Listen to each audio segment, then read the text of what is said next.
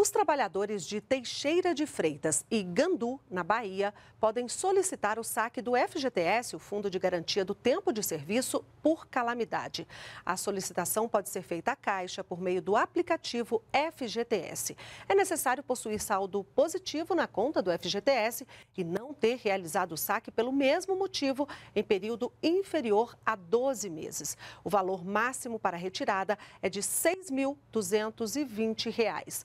Os residentes de Teixeira de Freitas têm até 10 de março para solicitar o saque. Já os moradores de Gandu poderão solicitar o saque até 28 de março.